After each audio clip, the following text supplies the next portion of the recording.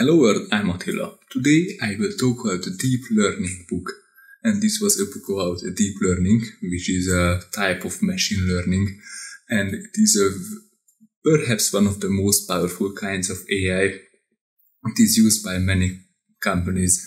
So by Google to recommend us videos on YouTube or to rank its search queries and to control our minds and by Tesla to uh, create self-driving cars and by many other companies. So I want to learn more about it and uh, learn about the fundamentals and how it works. So I would like to share this knowledge with you. So first, when uh, AI scientists uh, started to work on AI, they thought that uh, they knew that the AI would have to know have, have to have a knowledge about the world. And first they hard coded this knowledge about the world in formal languages. And uh, this is called a knowledge based approach. But uh, none of these attempts were successful. So then they figured it out that the AI systems need the ability to acquire knowledge on their own by extracting patterns from raw data and uh, this capability is known as machine learning. The deep learning is a type of machine learning, a technique that allows computer systems to improve with experience and data. And the performance of these systems, the performance of these uh, machine learning systems depends heavily on the representation of the data they are given. And uh, so let's take an example. Um, there is an image on the screen now, and your task is to separate the blue uh, stuff and the green stuff from each other with a single line. So this is an impossible task both for you and for an AI. But uh, let's represent the data a little bit differently, like this. So now um, drawing this line is much more. It, it's very easy. And uh, so it matters a lot how you represent a data and the one solution to this uh, representation problem is to use machine learning to discover not only the mapping uh, from representation to output, but also the representation itself. This is called representation learning. So not only discover it how to draw the line the most efficiently, but also how to represent the, the data the best way. And uh, when we are uh, designing features or algorithms for learning features, our goal is usually to separate the factors of variation that explain the observed data. So usually when we have a data set, there are a few factors that uh, the data is differentiated by, and we want to like uh, figure out these factors. And then it talked about uh, image recognition and uh, how to how to recognize objects in an image. So let's take an example. Uh, in this image, we can see uh, a woman and the, the task of this uh, neural network is to recognize whether this uh, object that we can see on the image is a car, a person, or an animal. Uh, in order to do this, it can just look at it and tell as we are able to do it because for some reason um, we are very good at image recognition over the evolution. We developed this feature, feature we developed this uh, skill to mastery level. So it is very difficult for an AI to extract high level abstract features from raw data. These high level features is like the the face, the arm, and the trees in the background, and things like that. So Deep learning solves this central problem in representation learning by in introducing representations that are expressed in terms of, of other simpler representations. So on this uh, neural network, we can see multiple layers. And uh, they recognize each of the um, each of the, the individual things. So in the bottom, we can see the visible layers, and these are the input pixels. And uh, the first hidden layer recognizes the edges in the image. The second hidden layer uh, recognizes the corners. The third hidden layer recognizes the objects and parts. And uh, the output layer recognizes the, the whole object. So first it starts with the, the very basic things, the pixels and the edges, and then it uh, goes throughout. So I will talk about the structure of uh, neural networks in the in the end of the video, so you should stick around. So there are two kinds of uh, learning, the supervised and unsupervised learning. So both of these uh, learning algorithms experience a data set, but uh, the supervised learning algorithm also um, also have an have a, have the solution to uh, to the to an example. So usually uh, there are a huge data set of uh, a training set where we can uh, train our uh, artificial intelligence on. The supervised learning algorithm will get an example out of that uh, of the training set, and uh, the algorithm will run the run their own uh, calculation, and they will have an output, and uh, they also get the solution of that example, and then they can compare that uh, the solution and um, the output of the algorithm to to like figure out whether that algorithm did a good job or whether it didn't. And if uh, the algorithm doesn't have a has a, has a has a solution, then it's called unsupervised learning. And in the age of big data, uh, machine learning became much easier because before that we only had uh, very small data sets but uh, now we have larger data sets and it's uh, it's much easier to to generalize on a large data set and to predict uh, about the new examples about the new data what is it with a larger data set and we also have the computational resources to run much larger models today because uh, the bigger the connection of the neurons, the more powerful the network is. A neuron is all these dots that uh, you saw in the example image earlier. And uh, like alone, uh, a neuron is not very powerful, but together their uh, power grows.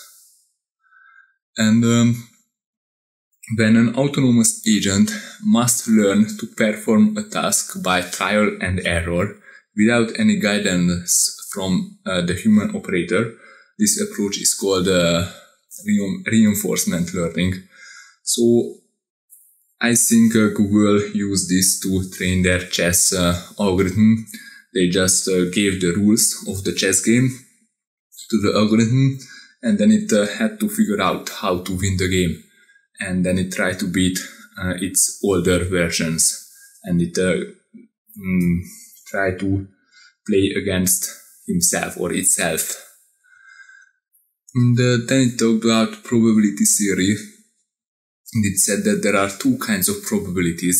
First is the frequentist probability and it's for example if you flip a coin how many times will it be head uh, if you play it infinite times, it will be 50%.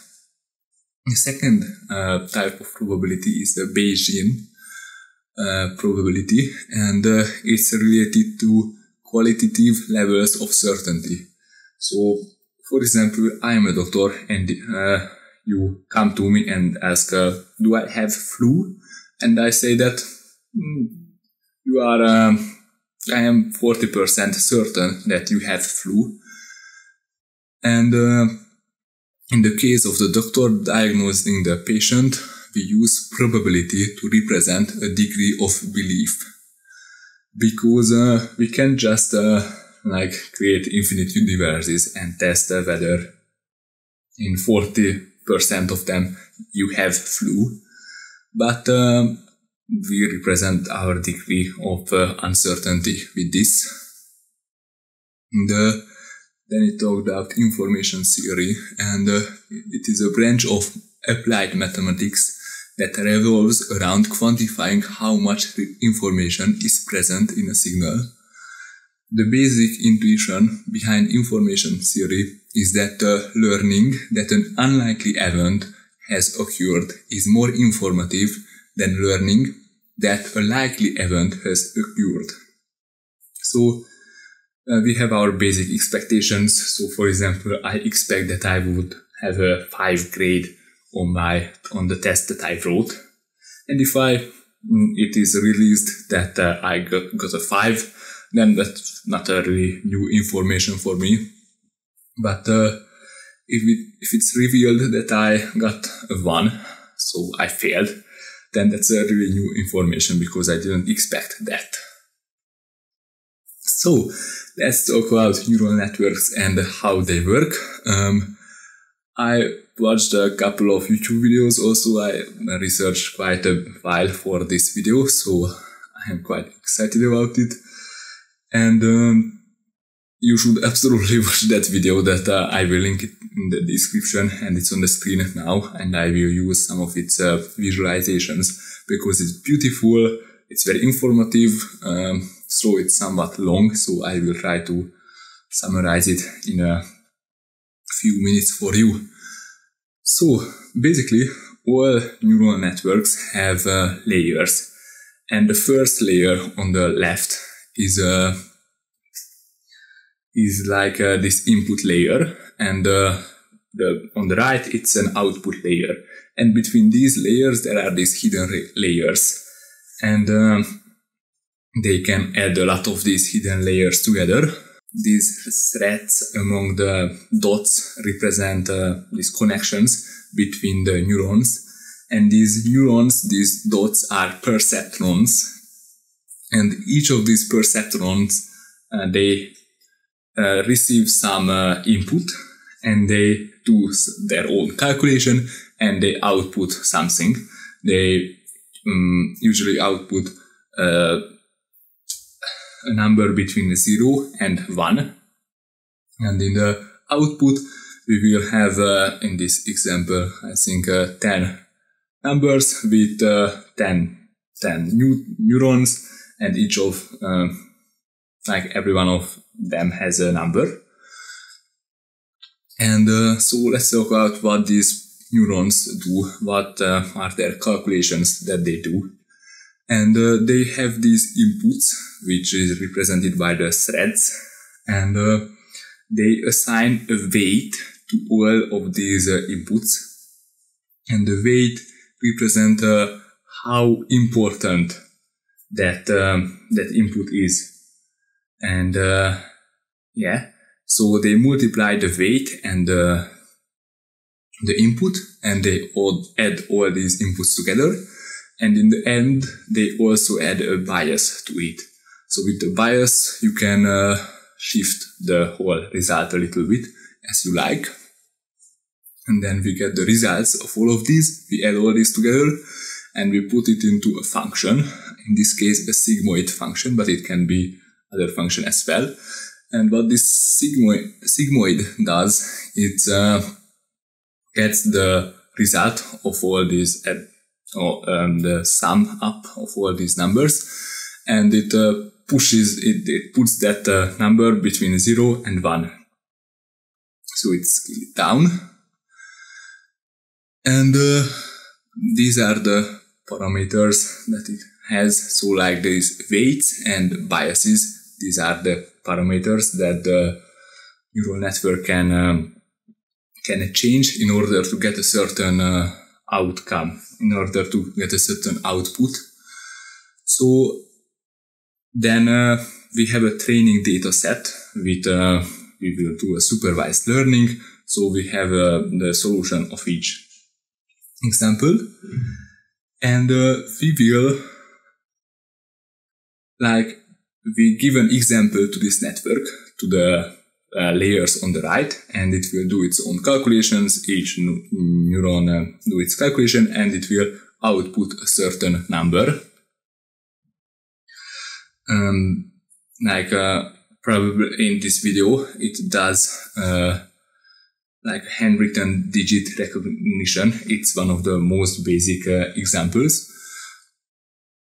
And uh, then you, how does this function learns so we get the output of the function and we will, uh, how do this uh, neural network work? This neural network is essentially a function and we get the output of this neural network and we get uh, the solution and we compare it.